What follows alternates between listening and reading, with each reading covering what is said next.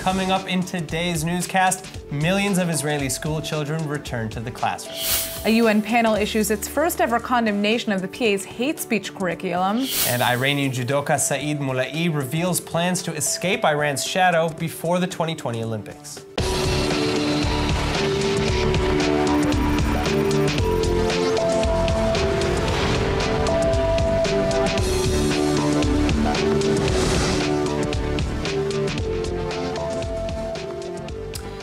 Several anti tank missiles have been fired into Israel from Lebanon, according to the IDF. The incident comes several hours after Israel reportedly fired artillery shells towards the contested Shebaa farms along the Israeli Lebanese border. The shells caused fires on the Lebanese side, but no injuries. The rocket fired from Lebanon into Israel allegedly fell near the Avivim community in the Galilee region of northern Israel and Israeli civilians living within four kilometers of the Lebanese border have been advised to stay in their homes and open shelters when hearing alarms, to refrain from any activity near the border, and to avoid traveling on nearby roads. In related news, the war of words between Hezbollah chief Hassan Nasrallah and Israel continued over the weekend, as after Israel allegedly uh, struck Hezbollah's media office in Beirut last week, Nasrallah said that Israel must pay a price for its actions presumably with rockets as we just saw hours ago. Foreign Minister Israel Katz dismissed Nasrallah's threats, though, calling him an Iranian puppet, and he also added that if Nasrallah continues espousing such rhetoric, he'll be credited not for helping Lebanon, but for destroying it. Well, not to be outdone, Blue and White leader Benny Gantz chimed in, warning Nasrallah not to force Israel to attack and send Lebanon, quote, back to the Stone Age. But either way, the IDF is not taking a chance on whether Nasrallah is bluffing especially as on Saturday night, the Hezbollah terror group released a video saying an attack on the north is imminent. نحن نملكه في لبنان هنا يوم الأحد كله كان رسائل مختصرة الإسرائيلي يجب أن يدفع ثمن اعتدائه هلا الأمور كلها طبعا بتكون في إطار ونطاق المسؤولية في إطار المسؤولية إذا لابد من الرد وهذا واضح صار So the army announced that it will postpone a major drill for fear that there will be a harsh reprisal attack along Israel's northern border. And in addition, ground, air, and naval troops have all been given their marching orders to prepare for a heated northern conflict. Then, meanwhile, troops stationed in the north already were told that they had to stay on base over the weekend and were denied Shabbat leave. It's quiet as, you see now, but it's a little bit tense. Uh, the army is, uh, is ready to uh, to reach, uh, react back if uh, Hezbollah will attack us. it's not nothing that we're not used to it. Now, international forces were also reinforced over the weekend. The UN Security Council said it was renewing its UNIFIL peacekeeping mission in Lebanon for one more year because of this, quote, new conflict with Israel. That means the 10,000 UNIFIL members on the border will have to put off packing their bags for now, a move that Israel's ambassador to Israel, Danny Danon, applauded. He said keeping the troops there sends a clear message to the Lebanese government that Hezbollah must be restrained. But ultimately, Prime Minister Netanyahu believes that it's really Iran that is behind these rise in tensions. And as a result, he urges French President Emmanuel Macron to halt talks with the Islamic Republic in Tehran at this moment, which Macron is said to have started on the sidelines of the G7 summit with Iranian Foreign Minister Mohammad Javad Zarif. Well, today's a big day here in Israel. September has finally come around, and that roughly that means that roughly 2.3 million Israeli school children are heading back to class. Now, 170,000 of them are going for the first time. And 200,000 teachers and school employees have received them, even though Israel saw a tense summer leading up to the first day of school. A massive nationwide teacher strike was narrowly averted after the government pulled together a last minute wage agreement. Now, not everything was protests and divisions, though. Prime Minister Netanyahu and Education Minister Rafi Peretz rang in the new school year with students in the city of Elkanah. אני מאחל לכם שנת לימודים תוססת ומוצלחת. תחכימו, תלמדו. Now, this year's numbers show just how much the Israeli population is growing. About 132,000 12th graders are entering their last year of school, while around 170,000 are starting their first. Which may be why more and more teachers are protesting their low salaries. One Israeli principal posted one of her workers' paychecks online, revealing the teacher's meager salary of 5,700 shekels per month. 5,700. That's a salary that many claim just isn't enough to survive on in Israel. Many teachers are reporting having to actually even work part time in other jobs like waitressing to be able to afford their lives. And that's why the Israeli government has just reached a deal to help teachers get more sick days and a better pension plan. But some schools are still holding strikes, forcing over 38,000 students to remain home, with some uh, hosting student protests for an entirely different reason as well to fight against deportations of foreign workers and their school age children. While politics aside, President Reuven Rivlin has a message for Israeli school children. He's challenging them to learn not only about their subjects, but about each other. He wrote, we only, we only sometimes get the chance to become acquainted with and learn about another person's way of life. All right, so as a new school year begins, the Prime Minister, Finance Minister, and Education Minister have all come together to form a new program to support the children of Sderot and the Gaza uh, adjacent areas. And while the details of the 10 million shekel program have yet to be finalized, Residents and employees of the South will be the first to tell you how important such support can be. Here now to do just that is Adele Reimer, an English teacher, Nofei eh, Habsor, and a teacher trainer in the Western Negev. All right, thank you so much for joining us. Thank you for having me. So let's first begin by talking about the feeling on the ground right now as, as students begin the, the new school year in the Gaza area. Unfortunately, we've been living with this tense situation for the past 18 years or so. So our students are pretty used to it. And In fact, uh, our school is completely bomb-proof. Uh, I, what the first totally bomb-proof school in the in the country, if not in the world. Um, but it was tense today. I mean, I personally was not at school today. This is not a day that I teach in school. It's a day that I do teacher training. Um, but I know that school went on as usual and they tried and make it as jolly and fun as possible, as exciting uh, to have the, the first school day, a fun, memorable day. And even more significantly, right on the campus next door to us, three new schools opened up, three new great schools, which was a really big celebration for our region that all of the grade school children in the uh, Eshkol region are going to one school. So it was mm-hmm. a very festive day, uh, although all of the infrastructure, all of the security people, everybody, the teachers, sure. everybody was on alert and and know what to do. It's an emergency. So speaking of that, you know, we've seen earlier today we had we had rockets coming in from Lebanon uh, in the yeah. north. What what are maybe some of the preparations for security that the students are undergoing for for any sort of uprising in the south? There's not really anything that's being done differently right now.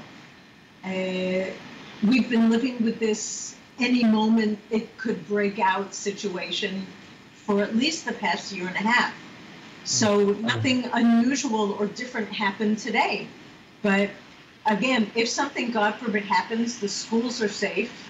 Everybody who lives within seven kilometers of the border has a safe room. Uh, what typically happens is if there are rockets, our schools are closed. Right. So, so the question is, I mean, what do locals on the ground want from their leadership? You know, as we're going to the elections here, what what are they hoping will change? I, I, can only speak for myself. I'm in a citizens group which is called Solidarity with the South, and we are hoping that there indeed will be a change. That our that we're, there will be a government that uh, looks after our security more. That's that's more transparent in what they're planning. Um, and we're hoping things are going to change for the better. All right. Well, thank you so much for joining us because we haven't had policy for a long time. So we need policy, good policy vis-a-vis Gaza, and good pos- policy in general. All right. Well, we hope you get it. Uh, Adele Reimer, thank you so much for joining us. Thank you for having me. Now, in the meantime, as Israelis go back to hitting the books, for the first time in history, the United Nations Committee for the Elimination of Racial Discrimination, or CERD, is sending its first ever condemnation to the Palestinians. They're saying they have to stop promoting and teaching anti Israel hatred in the classroom. And the directive was published actually on Thursday, detailing concerns about anti Israel and anti Semitic hate speech in certain media outlets. quote, especially those controlled by Hamas, social media, public official statements, and school curricula and textbooks, all of which fuels hatred and may incite violence. A video recently released by NGO Monitor shows how children in a Gaza kindergarten's graduation ceremony reenact and kill and ki- the kidnapping of Israelis. And the kids also used drones, they used body cams, military uniforms, um, and body armor, with similar videos having been released in 2016 and 2017.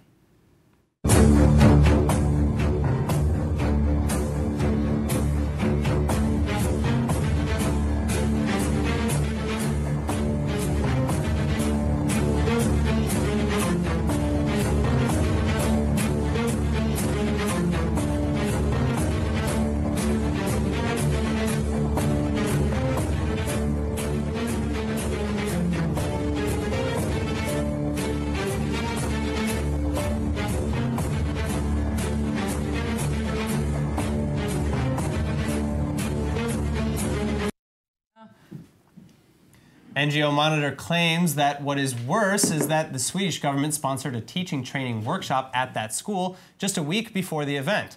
And European support for UNRWA and other Palestinian education organizations who are accused of abuse is far from an isolated incident. Was for solutions. The CRD report goes on to suggest that Ramallah worked to better protect journalists, human rights activists, and political dissidents while removing impediments to democracy. And finally, while recognizing that Israel's involvement in the West Bank is an obstacle, CRD also recommends that the PA adopt comprehensive anti discrimination legislation. And now joining us with more on the UN's landmark report regarding Palestinian school incitement, please welcome Executive Director of Honest Reporting, Daniel Pomerantz. Daniel, thank you so much for being with My us. My pleasure. Thank you for having me. All right, so my first question is, you know, what do you make of the CRD report? Is it is it too much? Is it lacking? Is it just It- right? It's absolutely unprecedented. We just we have not seen the United Nations take a strong position against incitement in Palestinian textbooks, government statements, social media ever. And for any body that cares about seeing us achieve peace in the Middle East, when you have an entire generation that's raised to believe that compromise is treason and that murder is admirable, you simply have to take a position on that, or else you cannot be surprised when peace doesn't happen. Was this is, so? You said this is unprecedented, but you know why now? Why did the UN just make the choice uh, to publish a report like this, given its historical bias against Israel? Well, I don't know the inner workings. The report has been in existence for about a week, but hasn't been published until just the other day. But there certainly has been a great deal of lobbying behind the scenes to try and produce this. And, uh, and it's about time. I think really the, the real question is why hasn't a report like this been produced earlier? Right. So, okay, so do you believe that this report and other similar reports that have kind of come out, uh, you know, in the woodwork, will have any real actual effect, any measurable effect in the they near lead future? to change? Well, th- these kind of reports from a committee at this level doesn't have what we would call teeth as such, but it's important in terms of how the situation's perceived in the media and in the world. Now, at Honest Reporting, our job is to monitor the media, and so far our team has not been able to find a single article in any mainstream international news source uh, about this report, which is a problem. Because in 2016, for example, Palestinians were using social media to mount the knife intifada and to encourage people to kill Jews and Israelis. And when Israel responded by working with the social media giants to shut down some of these channels, they were criticized in the international press for potentially interfering with free speech. Now that the UN has weighed in and made it clear that this isn't about free speech, but this is something that must be stopped, It's, incite it's incitement to violence. it's incitement to violence and it's part of the story. And the new- news media really ought to be reporting it. All right. So what? I, I mean, I guess the real question here is what incentives Ramallah and, and Hamas really have to follow this protocol that is now, you know, this report that has now been released. Well, it's entirely possible that they could simply ignore it. Right. It's entirely possible that the UN could push uh, in ways that affect the level of international support for the Palestinian government, which is tremendously important for their activities. So, in an, in, in an attenuated way, over time, this could have an effect on the amount of support that Palestinian leadership has in the world. see. All right, and so, you know, one of my final questions, you know, what, what consequences are there for failure? Because you said that this report kind of lacks teeth, but is there maybe another government body or UN body that, that might be backing it up? It's possible, theoretically, that it could go to a Security Council resolution, and the Security Council does have the authority to pass resolutions with the force of international law. But it's highly unlikely that something of this nature would get to that level. Right. Nonetheless, it's tremendously important because when you have students learning that Israel doesn't exist or that math problems are, are learned based on how many martyrs you yeah. can you can kill. Uh, that just doesn't lead us toward a peaceful situation. All right. Well, thank you so much for joining us in the studio. My pleasure. Thanks for having this. me. All right. Israeli judoka Sagi Muki is still celebrating after taking home the gold last week at the Judoka World Championships in Tokyo, but his Iranian competitor Saeid Mollaei is having what some would call a tough week. The judo fighter is allegedly filing for asylum in Germany after he was pressured by Tehran to throw a match at last week's championships to avoid facing an Israeli opponent. And weekend reports suggest that Mollaei already actually arrived safely in Berlin after being whisked away with the help of the president of the International Judo Federation, Marius Vizer. In fact, the Iran International News Channel is calling Vizer the so-called mastermind behind the operation to fly Mollaei to Germany in order to, quote, harm Iran for Israel's sake. And they also claim that Vizer ordered a car with a German security guard to pick up the Iranian judoka and take him to the airport after allegedly discussing the plan with Israeli Prime Minister Netanyahu. Iran's Olympic Committee is expected to file a complaint to the International Olympic Committee against the Judoka Federation's alleged actions. But Vizer says the IJF intends on allowing Mollaei to compete in the future as a member of the team for international refugees in the Tokyo 2020 Olympics. And while Mollaei so far is denying reports of his asylum application, he has confirmed that he intends to compete at the Olympics under the International Olympic flag. In the past, Iran has forbidden its athletes from competing against Israelis. But back in May, the International Judo Federation claimed to have reached a deal with Iran to end that boycott. And that deal was later denied, though. In the past, Mollaei has uh, been accused of faking injuries and intentionally losing fights in the past to avoid uh, facing off against Israeli judoka Sagi Muki. But last Thursday, it was reported that he would continue in the championships even if he had to face off against the Israeli. According to reports, however, Iranian intelligence officials came both to his home in Iran and the judo arena in Tokyo to warn him against competing with Muki. And soon after, he threw his fight against the Belgian competitor Classe or Casse, and had he won that match, he would have faced off against Muki. This isn't the first time something like this has happened. Last year, an Iranian wrestler was banned for six months for deliberately throwing a match to avoid facing an Israeli opponent, too. In a diplomatic milestone, Honduran President Juan Orlando Hernandez arrived in Israel Saturday to inaugurate a new diplomatic office in Jerusalem. And now, while Honduras hasn't officially decided to move its embassy to the Holy City, this move represents its recognition of Jerusalem as Israel's capital. Para nosotros es un paso muy importante. Estamos seguros que esto va a ser de un gran beneficio para Honduras. The Palestinians, of course, are not happy with this development, though, and they filed a complaint at the UN against the Central American country. They allege the move is an act of direct aggression and a blatant violation of international law and legitimacy.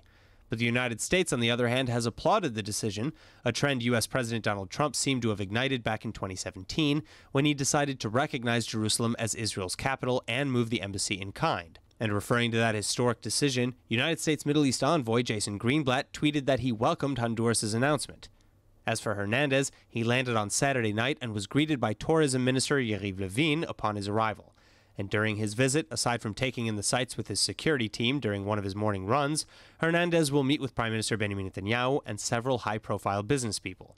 Meetings that are welcomed in the Jewish state because, as far as Israel is concerned, it sees this development as an important step towards the future move of the Honduran embassy to Jerusalem and the opening of the Israeli embassy in the Honduran capital, too. And now, while Israelis start returning to their classrooms, let's take one more summer trip with ILTV's Emmanuel Kadosh to a place that may just be the real life Garden of Eden. Check it out. Gan Shlosha, located in the Lower Galilee, is believed by some to be the real-world location of the Garden of Eden. That's why Time magazine crowned it one of the most beautiful parks in the world, and I'm here to check it out and see if it lives up to its legacy.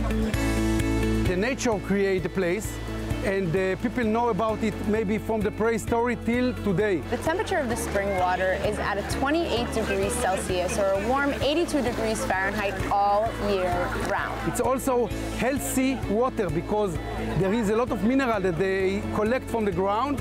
You can't drink it, but you can swim and enjoy it very much. Know, the Arabic and Jewish and old-timer and newcomer from uh, Russia immigrant, and of course tourists from all of the countries. That's why maybe half a million people come to visit in the year. just back from the Jewish Museum in New York and some other places. This collection is very rare, maybe the only one in the Middle East. And after they took it to Italy and then it's back to here. From the Bible time, then the, till the Roman, you know, 2,000 years of Greek and Roman and Etruscan and other collections. Maybe the Italian or the Greek has thousand like that, but not more than this. The museum built on a biblical tell mount from King Solomon time, 3,000 years ago.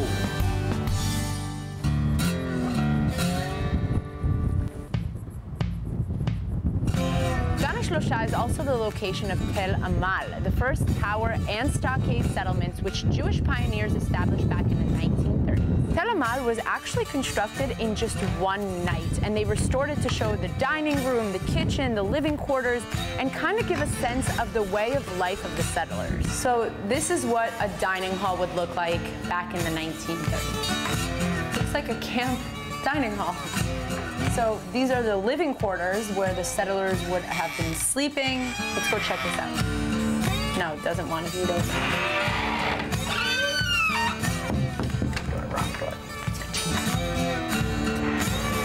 These are the living quarters. Next time you complain to your parents that your room isn't big enough because you're sharing it with your sibling, take a look at this.